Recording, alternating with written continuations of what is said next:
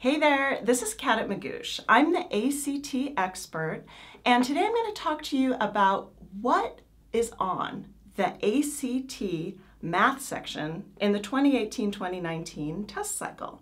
So we've been looking at most recent exams and studying some trends, studying frequency of, of question types. And I have some really interesting findings to share with you, but more importantly, I want to give you some tips that will help you get those questions right. One really interesting thing about the 2018-2019 exams, or at least the ones in the last couple years, and we predict to see this continue to happen, is that questions on averages come up quite a bit. So when I say averages, what I'm talking about specifically are the mean, median, and mode. And I know a lot of you have seen this, maybe it's been a while since you have seen this, but these are really great things to learn before the exam because if you can remember which of these terms means what type of average, that's going to make such a difference. We have found these problems sometimes to come up as frequently as four times on a single exam. So that's a lot. It might not sound like a lot, but that's like one of the most frequently occurring type of questions. So let's go over really quickly. What is the difference? So a mean is basically just the average. This is when you add everything up and you divide that sum by the number of items. Okay, and so I kind of remember it that, you know, mean, maybe this isn't the best way to remember it, but that mean is kind of like, it takes you a long time. It's kind of like the mean type of average, like a little, it's cranky because you have to slow down when you have to calculate the mean, right? And sometimes when we use the word average, we really are just talking about the mean. So if you don't know anything else about the scenario, someone says calculate the average, they mean to calculate the mean, all right? So that's the mathematical one. The median just means the centermost number. And I'm going to show you an example of this in just a second, all right? But it's, this, it's the middle. And you can see that, of course, or media if you speak Spanish, the, the middle part of, of the range of numbers. And then last we have the mode. The mode is the most frequently occurring number. Now sometimes you have more than one mode because you might have a number that occurs the same number of times as some other number, all right? But in that case, you would just have more than one mode. So I know this is just kind of a lot of words. Let's go through it with an example using real numbers.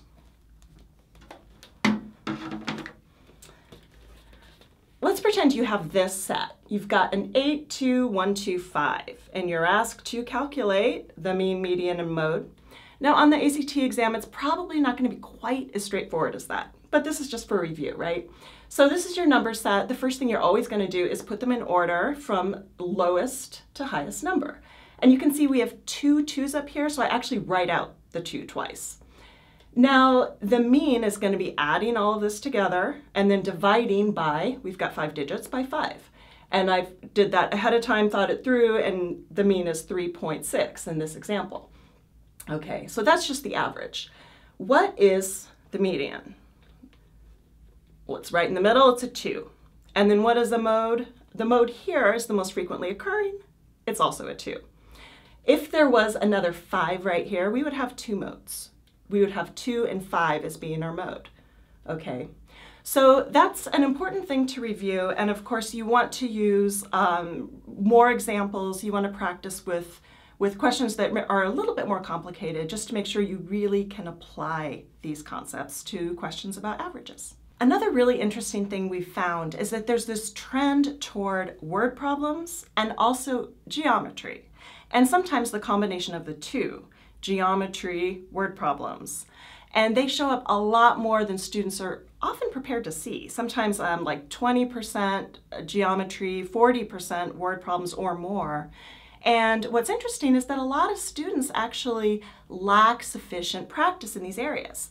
In American high schools, there's a movement towards algebra, more algebra, harder algebra earlier on in high school and middle school. And what other studies have found, and I've seen this in lots of different reports, is that American high schoolers are getting better at algebra, but to the detriment of other things, to the detriment of pre-algebra, to the detriment of geometry, right? So one thing in particular I'd really like you to get practice on is what are called geometric diagram problems. So that's a problem where maybe they're giving you this word problem and they're saying like, the Rodriguez family is going to landscape their backyard. And um, it's a 10 by 12 backyard, and they want to put a goldfish pond right in the middle. And then they'll ask you something about maybe calculating the area of the goldfish pond based on a couple other variables you're given, right? Or they might even ask you how much soil are they going to need to buy if they have to fill this, you know, planters around the goldfish pond or something like that, right?